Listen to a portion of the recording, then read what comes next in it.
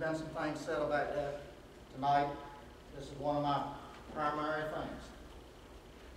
And exact everything that Will said, and especially what Dan said, is about burden our younger people. I don't think anybody would want to do that. It's about taking responsibility and being proactive and doing that. Last, from 2007 to 2011, if you look at the yellow line, our county fund balance, we were taking a dip in 2007, where that came from some of this DSS thing and a few other little problems over here. 4.64 percent, and now we're at 26 percent. We're not doing quite as good that we're gonna be this time. And I'm not 100 percent sure because we appropriated some dollars out of that looking at it. But our fund balance is still around 2.9 million to 3 million dollars. And we had, um, Forgot what the number was, but if you look at those lines, you see the incline that is dramatically, and the one that's on the low side here going up, that's Gates County. So low up here at five, all the way up to the mid twenty-six percent.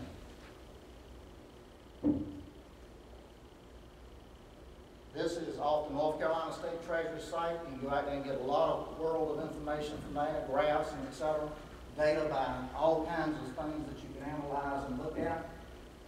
Forty-seven percent of the revenue stream in two thousand eleven came from you, the taxpayers of Gates County. Property tax only. Property tax on it, forty-seven percent. Sales tax, nine percent. Obviously, we know what, in Gates County, we don't have a whole lot of, uh, revenue. And it's something we talked about this morning and um, DSS. Let me get, put this in perspective to you. The food stamp program in North Carolina last year was two point three billion dollars. Our, our state budget is twenty billion dollars. Now, I took, Jeff sent me those, I took those and sorted those by amount of revenue that came back to your county. Gates County, we were number ninety-eight out of hundred. We had $2.3 million gone out and only 801,000 captured in our county. We were number 98 out of 100. So look at our sales tax number. Obviously, we don't have nothing to buy. This is our debt, uh, where we send our expenditures. Education, 22%, debt service, 12, human services, 16 than the other categories overlap. Public safety, which to me, obviously, education and public safety are my two high priorities. Be summer, this is what was in the news in the Gates County Index. Good audit reveals good news. County's fund balance grows by $560,000. This is what general, the charts and everything, but this is really the primary focus on what do we do? And it's been talked about a lot of times, retire debt. Well, the big one, uh, we've done two others, but this right here was our DSS loan. It was taken out at $1,884,920 for 30 years at 4.25% far right-hand corner, we were gonna spend, for this one million, eight eighty-four, it was gonna cost us one million, four hundred eighty-five thousand dollars in interest. Okay? On 2013 or 12, right here, our balance, still principal balance, we paid 386,000 or 388. And one million, seven hundred nine thousand dollars we still owe to debt, well, today, and I think Renee, uh, Sandy sent me, it will be on, and I asked her for the twenty-fifth, whatever day that is, one million, seven hundred and ten thousand. Well, what do we do? Well, we came up with ten and fifteen years. And I don't work, on your ten-year loan, you would 880, $886,000. 15, 678,000. Now, the difference between the payments, which is up there on the screen, it's hard for you to see, is $50,141. We either paid 192,000 142,000. That's $50,000. We were concerned with my fellow people over here was don't know what the future holds. Well, that's true. That's a good point. None of us do. But there is a difference between 886 and 677, $209,000. That's the part that bothers me. I want to get the money. All right, but I understand the concerns that they have about spending the money up to just fifty thousand dollars. So what do we do? Compromise. You take the one million seven oh nine that you owe today, and you take automatically, take fifty thousand dollars off of it, just like that. Pay it out of your fund balance. What does this do for you? Well, it changes the process. So you come up here to your one million seven oh nine, and you subtract that fifty thousand from it, and you borrow that amount of money. What does it do right now? It saves you twelve thousand three hundred sixty-one dollars. So the new interest total would be four twenty-one, four oh nine, so you save twelve thousand three sixty-one, or three percent of your total payback. Now, what is the earnings on the return on that fifty thousand? Twenty-four percent. Twelve thousand divided by fifty. So now rather than you lose an opportunity for two hundred and eight thousand dollars oh or nine, you've only lost hundred and ninety-six thousand dollars of opportunity. Still out there. Still the things we're concerned about. But we only committed fifty thousand, we haven't committed the whole half a million dollars over ten years.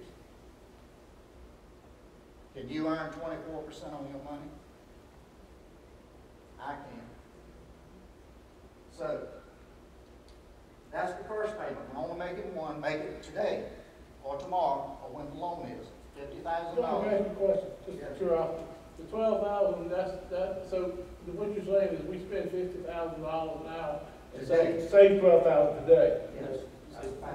Say twelve thousand fifteen years from now. No, that's not true, you save it today, You your obligation is gone down Make today. twenty-four percent today, Yes, so I give you fifty thousand, you get twenty-four percent tomorrow. that's right, that's exactly what you got. So got. you get twelve, you, you sa- you spend fifty to get, to save twelve, okay. Well, hold on, well, actually, If you, uh, if you were to be paying for your car brand, and you pay an extra payment, you think that guy would charge you that payment when you went to pay it off? So if if it was my car, I'm really interested in He's talking. not gonna do it. It is instantaneous right now, because you know you have reduced your obligation. Your liability has changed by twelve thousand dollars. If you fold up today, you will pay him twelve thousand dollars less than you would have tomorrow. It's a real number. Now, so what do we do? We take that one payment, and we're concerned about it year to year. But if you good people of Gates County continue to let me sit behind that, you can believe every year you're gonna be talking about this. I believe that. Because this becomes payment number two, three, four, five, six, seven, eight, nine, right on down the line here. What that does is, now we can do this every year. You make this decision, can I afford it? Well, maybe, maybe not. That addresses the concerns that the board had. If you do that, now you have saved hundred and thirty-five thousand dollars over a eleven-year period. You will pay it off in eleven years. You've lost seventy-three thousand dollars of opportunity because you can't capture that. Now, what happens in, in this particular case? What does seventy-three thousand dollars represent? You made ten payments. It is the rate variance between a two point eight nine percent loan and a two point one nine percent loan. If you went to the bank to borrow money, which one rate would you rather have? Two eight nine or two one nine? You gotta be proactive. All right, next scenario. We decide we don't spend fifty, we spend a hundred today. Well, you just saved yourself twenty-five thousand dollars. Right today. Your obligation went down by twenty-five thousand dollars. If the bank calls the note tomorrow, you're gonna pay twenty-five thousand less than you originally would. That's five point eight percent. It still gives you the same twenty-four percent return. Twenty-four said twenty-two divided by a hundred, twenty-four percent return. Now, you uh, have a lost opportunity here. This is one payment now, one payment of a hundred grand. You lost hundred and eighty-four thousand dollars of opportunity. You make your two payments today and make eight more. Now, you've saved hundred and you've captured thirty-four percent of the savings. That originally had a forty-two percent return, you captured thirty-four thousand by making an incremental hundred today versus a fifty. And you've only squandered away sixty-five thousand dollars. You still have the opportunity to change. Call time out next year. Can't do it no more. You stop. And This is what Jack addressed this when we were first talking about this. This is what Jack introduced out there was saying about this situation. Well, it does. I don't like to give up the rate, but, you know, you have to compromise sometimes. But I like saving money. I like making money. This is the way you do it. You have no other opportunities in Gates County to do that other than something like this. So now let's look. On our balance sheet, June thirtieth, we had, in the NC Cap Management Trust Fund, we had one million nine hundred and fifty-nine thousand dollars in the trust fund. It earned ten thousand five hundred ninety dollars for the year, 0.54 percent. That's what it earned, 0.54 percent. So let's go take fifty thousand dollars out of that. We the twelve, and that's twenty-five percent savings, twenty-four point six five. Same thing if you do two payments a day, you save twenty-five thousand. Same twenty-five percent return. Which return would you rather have? The 0.5 or the twenty-five percent? Which would you choose? If you took that fifty thousand dollars and a hundred thousand dollars, going rate, one percent, two percent. You annualize this compounded for ten years. At the end of ten years, the fifty thousand would only generate five thousand dollars. First year it would only generate five hundred dollars. Right up here. Five hundred dollars, fifty thousand, at five hundred, with, at one percent, will yield five hundred dollars. You compound it for ten years, like I said, you come up fifty-two thousand. Same, go down to the hundred, you got ten, which is double again. But it's just good business sense. It addresses the problem of whether you can do it next year, you can do it this year. The thing about it is, can we do it today? Well, we got two point nine million dollars. We, we've done several projects. Uh, seventy-three thousand, hundred thousand, thirty-five, just all the day was thirty, I forgot what the escapes was, just like this. No return. This has a return. And that's why I'm so